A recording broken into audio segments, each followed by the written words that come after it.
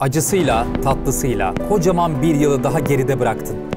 Bir yandan yeni bir yıla başlayacak olmanın heyecanını yaşarken, diğer yandan da ikinci yazılıların yaklaştığı aklına geliyor, içini bir huzursuzluk ve stres kaplıyor.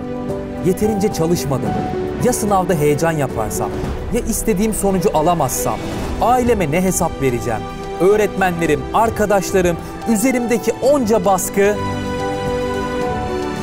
Şimdi hepsini unutma zamanı. Derin bir nefes al. Yazılılar senin ulaşacağın hedeflerinde sadece küçük bir basamak. Eğer yeterince çalışmadığını düşünüyorsan da asla korkma. Hala zamanın var. Şimdi elindeki o telefonu kenara bırak ve artık yapman gerekeni yap.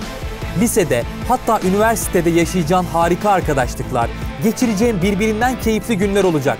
İşte o gün geldiğinde bu günleri hatırlayarak iyi ki harekete geçmişim diyeceksin.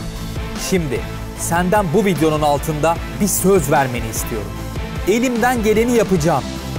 Hiçbir şeyin moralini bozmasına izin vermeden, enerjini düşürmeden o yazılılara çalışıp elinden geleni yapmalısın. Ve sonra tekrar bu videonun altında buluşmak dileğiyle. Sana güveniyoruz. Sen de kendine güven ve ikinci yazılıların üstesinden gel. İyi çalışmalar.